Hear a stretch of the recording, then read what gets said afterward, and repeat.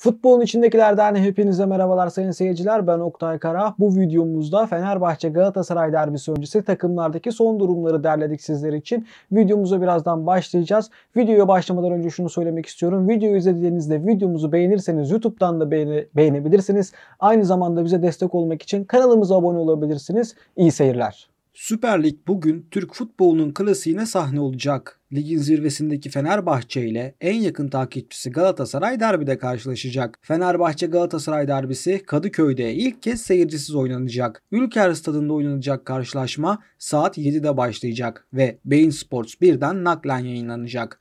Karşılaşmayı Cüneyt Çakır yönetecek. Ligde oynadığı son 9 karşılaşmada mağlubiyet yaşamayan ve 8 galibiyetle bir beraberlik elde eden Fenerbahçe derbiyi kazanarak şampiyonluk yolunda önemli bir adım atmak istiyor.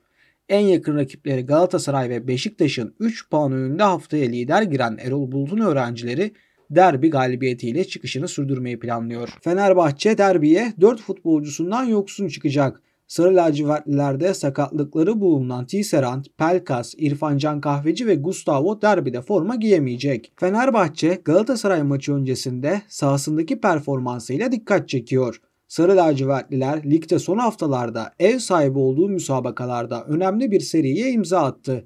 Kadıköy'deki son 5 lig maçında konuk ettiği rakiplerini mağlup etmeyi başaran Fenerbahçe son 2 maçta ise kalesini gole kapattı. Galatasaray Süper Lig'de çıktığı son 4 karşılaşmada galibiyetle ayrıldı. Sarı Kırmızılı ekip son 4 maçında Denizli Spor, Yeni Malatya Spor, Gaziantep ve Medipol Başakşehir'i mağlup etti.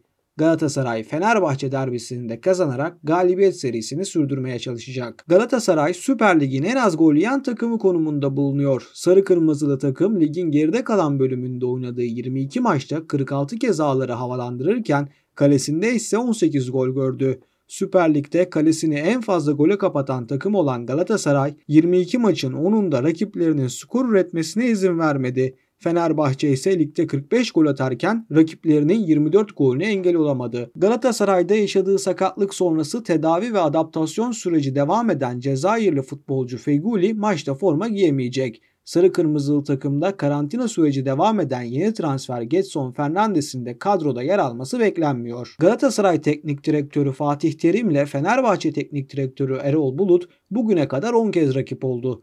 Söz konusu maçlarda Terim'in 5-3'lük galibiyet üstünlüğü bulunuyor. Derbinin kadro değerleri dikkat çekiyor. İki ekibin kadrosunda bulunan futbolcuların toplam değeri 1 milyar 662 milyon TL.